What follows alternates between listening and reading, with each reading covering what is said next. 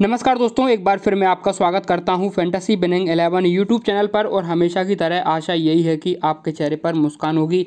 आज हम इस वीडियो में कवर करने वाले हैं स्वीडन और नीदरलैंड दोनों ही टीमों के बीच खेले जाने वाला आज का टी टेन मुकाबला। दोस्तों, अब से कुछ देर बाद ये मुकाबला स्टार्ट होने वाला है, यानी भारतीय समय अनुसार शाम को सात बजे से ये मुकाबला खेला जाएगा। नीदरलैंड का आज का पहला मुकाबला होने वाला है, जबकि टूर्नामेंट में दोस्तों इनका पहला ही मुकाबला है, लेकिन स्वीडन इस मुकाबले को, इस मैच से पहले एक मुकाबला अपना आज खेल चुकी और उस मुकाबले में आसान जीत इन्होंने दर्ज की है। यदि बात करें सबसे पहले अपन वेन्यू के बारे में तो काटमा ओवल में ही ये मुकाबला खेला जाना है। पिच बिहेवियर के बारे में बात करें तो एकदम बैलेंसिंग विकेट ये आपको दिखने वाला है। चौबीस मुकाबले इस ग्राउंड पर अभी तक खेले गए हैं। इनमें से पहले बल्लेबाजी करने वाली टीम ने चौदह और बाद में यानी कि चेस करने वाली टीम ने दस ही मुकाबले जीते हैं। यानी ओवरऑल देखें तो टॉस जीतने वाला कप्तान यहाँ पर बैटिंग का फैसला लेने वाला है। एवरेज स्कोर की बात करें तो एक का रहा है, लेकिन दोस्तों स्वीडन अभी अपना मुकाबला खेलकर आया है और उसमें एक सौ सैंतीस रन की पारी इन्होंने खेली है। सबसे पहले दोस्तों बात करें स्वीडन टीम के ही बारे में तो अभी इसकी अपन प्लेइंग इलेवन के साथ साथ दोस्तों देखने वाले हैं। पिछले मुकाबले का स्कोर कार्ड क्या कहता है? बाकी दोस्तों फाइनल अपडेट के लिए आप हमारे टेलीग्राम चैनल ज़रूर जुड़ जाइएगा। डिस्क्रिप्शन में इसका आपको लिंक मिलेगा। बड़ी आसानी से आप जुड़ जाएँगे। चैनल पर नए हैं, वीडियो को पहली बार देख रहे हैं तो चैनल को सब्सक्राइब ज़रूर करें और बेल आइकन को प्रेस करना बिल्कुल भी ना भूलें। वीडियो को एंड तक ज़रूर देखिएगा, क्योंकि ये वीडियो हमारे लिए बहुत इंपॉर्टेंट रहने वाली है खासतौर पर स्वीडन का जो हमारे सामने प्लेइंग इलेवन आया है और जो स्कोर परफॉर्मेंस जो पिछले मैच में इन्होंने किया है, इसकी जानकारी हम लेने वाले हैं और नीदरलैंड्स की पूरी जानकारी इस वीडियो में आपको मिलने वाली है। तो जुड़े रहिए आप हमारे साथ वीडियो के अंत तक। तो अपन आप चलते हैं, पिछला मुकाबला जो खेला गया था, उसके पास दोस्तों स्वीडन ने यहाँ पर पहले बल्लेबाजी की थी और स्वीडन की तरफ़ से एस अली ने शानदार बल्लेबाजी करते हुए अट्ठावन रनों की पारी खेली है, जिसमें छः चौके और चार चौके शामिल हैं। इनका साथ देने आए थे दोस्तों डी दास, जो कि अब हम आज एक बार फिर अपनी टीम में शामिल करने वाले हैं। इसके अलावा ऑलराउंडर उस्मान नवाई ने चार रन बनाए हैं। एन सुल्तान जो कि विकेट कीपरिंग का काम यहाँ पर करेंगे, इकतीस रन की पारी खेली है इसके बाद दोस्तों, एक खलील आने वाले हैं। इसके बाद जी जाहिद आने वाले हैं, जो कि आपको दो ओवर कर कर देने वाले हैं। दोस्तों, ये तो रहा इनका बैटिंग का हिसाब किताब, लेकिन बॉलिंग की यदि बात करें तो सबसे अच्छी बात देखने को मिली है कि इन्होंने मात्र पाँच बॉलरों का इस्तेमाल किया है, और ऐसे में दोस्तों, तकाबी ने तीन विकेट टीम के लिए निकाले हैं। वहीं दोस्तों, एल मोहम्मद ने दो विकेट टीम के लिए निकाले हैं।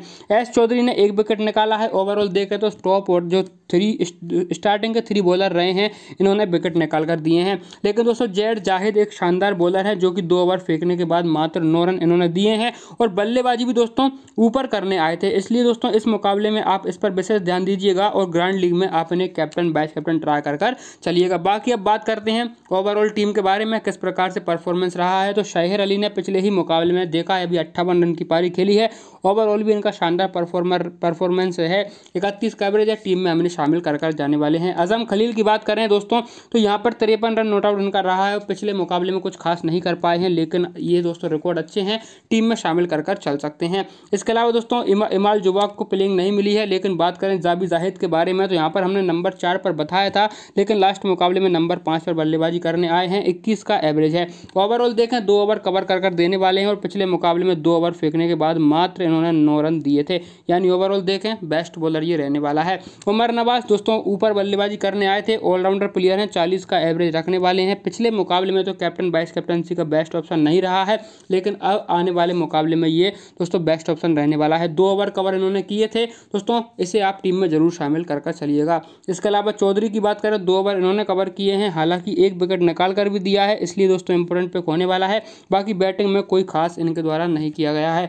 फारूक अहमद पिछला मुकाबला नहीं खेले हैं। जबकि बात करें जबीउल्ला जदरान के बारे में, दोस्तों मोस्ट इंपॉर्टेंट पिक है। पिछले मुकाबले में इन्होंने बॉलिंग नहीं की है। ग्रैंड लीग का बेस्ट ऑप्शन रहने वाला है, क्योंकि 22 मैचों में चौंतीस विकेट टीम के लिए निकाल चुका है। आप देख सकते हैं, दोस्तों, पाँच विकेट एक मुकाबले में निकाले हैं। ग्रैंड लीग के हिसाब से शानदार पिक ये रहने वाला है। बैटिंग में ज़्यादा अच्छा नहीं है, क्योंकि सत्रह का ही इनका एवरेज रहा है। इसके अलावा लेमर मोहम्मद दोस्तों शानदार लगातार दो ओवर कवर किए थे। पिछले मुकाबले में दो विकेट भी निकाल कर दिए हैं। इंपॉर्टेंट बॉलर है, आप इसे लेकर चल सकते हैं। इकतीस मैचों में सैंतालीस ओवर कवर करने के बाद बीस विकेट टीम के लिए इस टूर्नामेंट से पहले इन्होंने निकाल कर दिए हैं। इसके अलावा जैन मुजफ्फर, दोस्तों, हो सकता है प्लेइंग मिले, लेकिन अभी नहीं मिली है इसलिए इसकी बात नहीं करेंगे। लेकिन बात करने वाले हैं डबरचंद दास के बारे में। पंद्रह मैचों में पच्चीस का एवरेज है और पिछले मुकाबले में ओपन करने आए थे, इसलिए बहुत इंपॉर्टेंट पिक ये रहने वाले हैं। सबसे अच्छी बात, दोस्तों बॉलिंग इन्होंने पिछले मुकाबले में नहीं की है, लेकिन आने वाले मैचेज में बॉलिंग कर कर ज़रूर देने वाले हैं। शायद, दोस्तों, दो ओवर कवर किए हैं, देख देख कर आते हैं अपन इनको।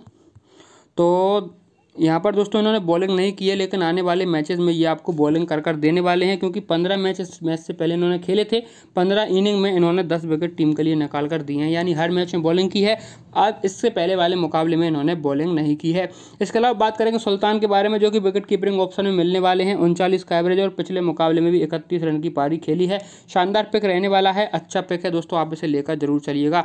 बाकी दोस्तों, और कोई ऐसा प्लेयर नहीं है जिसके बारे में यहाँ से बात करें, लेकिन अब बात करेंगे नीदरलैंड टीम के बारे में। तो यहाँ पर दोस्तों सेबेस्टियन ब्रात शानदार शानदार ऑलराउंडर प्लेयर है। सत्रह मैचों में बीस विकेट निकाले हैं। उन्नीस मैचों में चौदह के एवरेज से उनतीस का हाइएस्ट स्कोर रहा है। अच्छा पिक है। हम इसे लेकर चल सकते हैं। बाकी दोस्तों बात करेंगे अपन कैल्टन फ्लोट के बारे में। तो उन्नीस मैचों में उनतीस का एवरेज है और एक रन इनके बल्ले से हाइएस्ट रहा है। तीन बार पचास प्लस का स्कोर भी ये कर चुके हैं। बाकी सत्रह मैचों में बाईस विकेट टीम के लिए निकाले हैं। कैप्टन बाईस कैप्टनसी का अच्छा ऑप्शन ये आज के मुकाबले में रहने वाला है। मूसा अहमद के बारे में बात करें। लेग ब्रेक गेंदबाजी करते हैं ज़्यादा बॉलिंग करते हुए नहीं देखेंगे। दोस्तों, ज़्यादातर ये आज के मुकाबले में बॉलिंग नहीं करेंगे, लेकिन बैटिंग में बात करें तो तीस का एवरेज इनका रहा है और एक शतक ये लगा चुके हैं टी क्रिकेट में। यानी देखें ओवरऑल तो दो शतक इनके बल्ले से निकले हैं और छः बार पचास प्लस का स्कोर किया है। कैप्टन बाइस कैप्टनसी का बेस्ट ऑप्शन ये आज के मुकाबले में रहने वाला है। इसके अलावा दोस्तों बोरिस गोरिल्ले उन्नीस मैच में तीन सौ पैंसठ रन बनाए हैं, चौबीस का एवरेज है और पचपन हाइएस्ट इनके बल्ले से निकला है। अभी के लिए हम इसे ड्रॉप कर कर चलने वाले हैं। दोस्तों बिवियन किंग ना उनचालीस मैचों में एक सौ रन है, लेकिन चौंतीस मैचों में बॉलिंग करने के बाद इकतीस विकेट, इक्कीस विकेट इन्होंने निकाल कर दिए हैं। दोस्तों, आगे बढ़े रियाल क्लान। 18 मैच खेले हैं, सत्रह का एवरेज है। यानी देखा जाए तो इनकी टीम में फाइनल जब प्लेइंग इलेवन आ जाएगा, इसके बाद अपन फाइनल डिस्कस करने वाले हैं। यानी टीम हम वहीं पर प्रोवाइड करा देंगे। टेलीग्राम चैनल से नहीं जुड़े हैं तो डिस्क्रिप्शन में इसका आपको लिंक मिल जाएगा। मैन मैन बल्लेबाजों के बारे में या मैन मैन बॉलर्स के बारे में अपन यहाँ पर देखते हुए चलते हैं। दोस्तों, यहाँ पर देखिएगा, इक्कीस मैचों में पंद्रह का एवरेज है तो असाद जुल्फर को हम ड्रॉप करेंगे। इसके अलावा राता अल्फांसो, चौदह का एवरेज है, इसे भी ड्रॉप करेंगे। दोस्तों, आर्यन दत्त सत्रह का एवरेज है, इसे भी हम ड्रॉप कर कर चलने वाले हैं। इसके अलावा, दोस्तों, आर्यन दत्त दो बार लिखा हुआ है। साकिब जुल्फिकार का स्कोर कार्ड कुछ खास नहीं कहता, लेकिन बॉलिंग में दस इनिंग, दस, ग्यारह मैच खेले हैं, दस बार बॉलिंग की है। बारह विकेट टीम के लिए निकाले हैं। ठीक ठाक ओवर बॉलिंग करते हैं। सबसे अच्छी बात, बीस ओवर कवर किए हैं मतलब दो ओवर हर मुकाबले में ये फेंकने वाले हैं। अच्छा बॉलर है, आप इसे लेकर चल सकते हैं। इसके अलावा दोस्तों, एक अर्नब जैन प्लेइंग मिलेगी तो आप लेकर चल सकते हैं। आठ मैच की आठ इनिंग में सोलह ओवर कवर किए हैं, आठ विकेट टीम के लिए निकाले हैं।